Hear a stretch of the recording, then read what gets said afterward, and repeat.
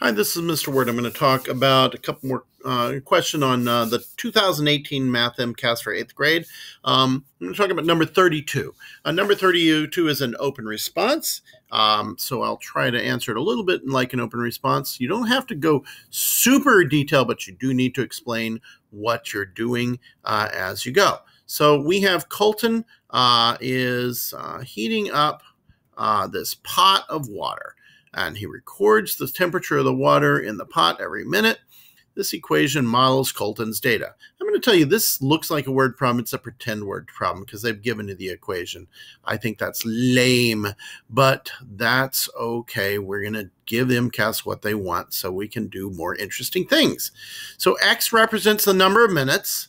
So we got 7.5 times time plus 40 equals Y, which is the temperature of the water. So X is number of minutes the water has been heated, and Y is the temperature of the water in degrees Fahrenheit. So the first question asks, what does the coefficient 7.5 in the equation represent in the context of this situation? Well, 7.5 represents the change in temperature for every minute the pot has been heated. So let me just say 7, uh, 7.5 represents the change in temperature, in water temperature, for every one minute the pot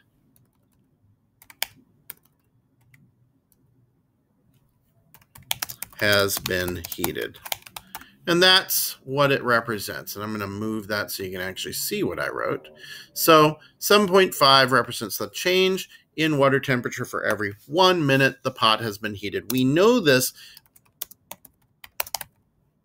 because it is multiplied by time, which is x. Okay, what does the 40 value represent in the equation? in the context of the situation. Okay, well, the 40 uh, represents, okay, 40 represents the starting temperature in degrees Fahrenheit. We know this because when time is zero, temperature, Y would be 40 degrees Fahrenheit. Um, and this is also known as, this is the y-intercept. Okay. If you wanted to, you could note that 7.5 is also representing the slope. Okay, so I'll just make a note of that. 7.5 is the slope or rate of change. Okay, and that's the type of thing that might help you get four points on a question like this. Let me see if I can move this so it's more viewable. It's a little better there. Okay, I'm going to move this one so it's a little more viewable. Maybe stretch it out and then move it. Okay, that's a little better. Okay, now what is the temperature in degrees Fahrenheit of Colton's pot of water after 16 minutes? Well, minutes is x, so we're just going to replace x with 16.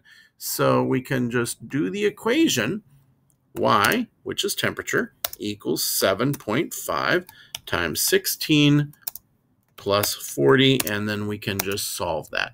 7.5 times 16 is the same as 15 times 8. And 15 times 8 is 120. And then we're going to add 40. And so the temperature should be 160 degrees Fahrenheit. And then water boils at 212 degrees after 16 minutes of heating. How much additional time to the nearest minute will be needed to, for all the water to boil? Okay, so we know that at 16 minutes we've gotten to 160 degrees.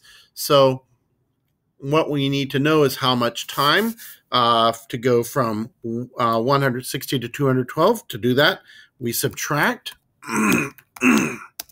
um, 212 minus 160, which is going to equal 52. and then you're going to replace y with 52, and this will give us the amount of time um, that we need. Um, so actually, we actually can ignore the 40 in this case. So what we need to do is divide 52 by the rate. Okay, so divide 52 by the rate of change of 7.5 degrees increase per minute.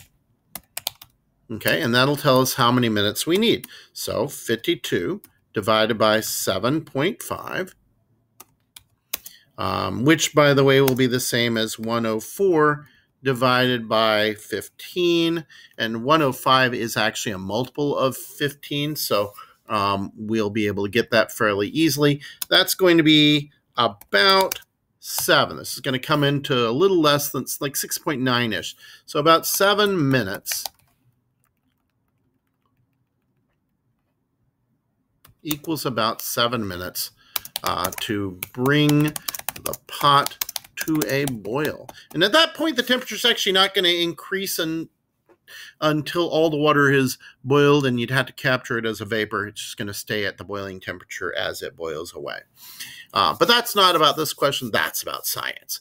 And I hope that was helpful.